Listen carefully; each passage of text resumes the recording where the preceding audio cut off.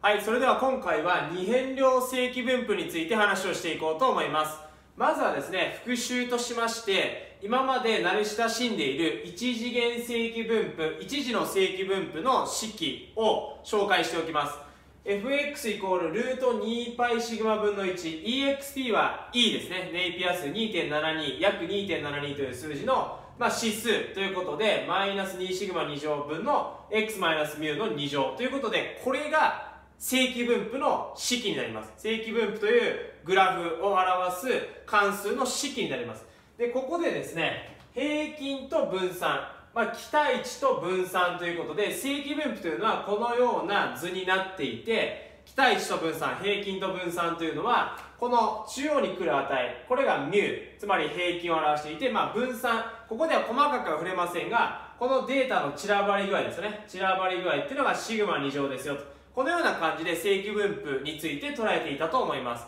これは一次元正規分布なので、一つのですね、指標に対してこう上にグラフが伸びていって、こういう平面の中で描ける図が一次元の正規分布ということになっています。